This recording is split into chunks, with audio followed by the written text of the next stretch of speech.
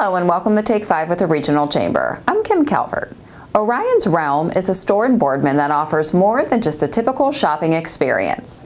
The metaphysical store offers everything you need for a spiritual journey, from crystals and meditational tools to psychic readings, Reiki sessions, and classes.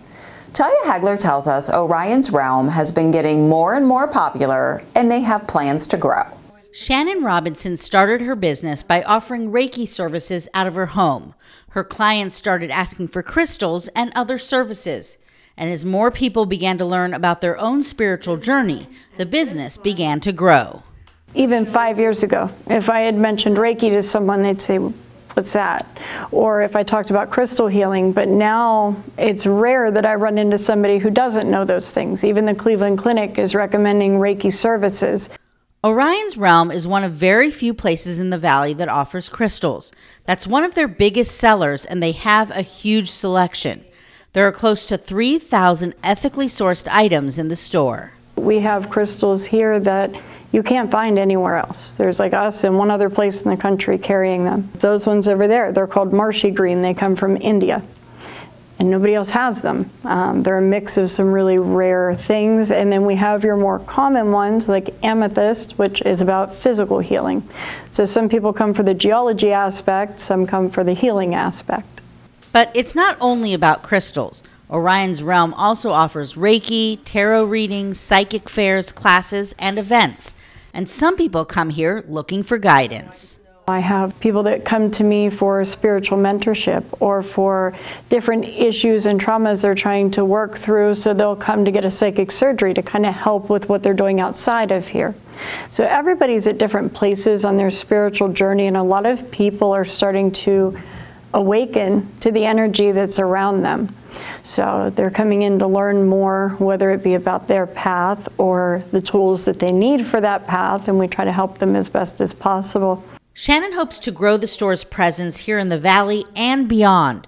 Her goal is to help as many people as possible, and she's already planning to attend upcoming events in Florida and California, and she's not putting any limits on where her journey will take her.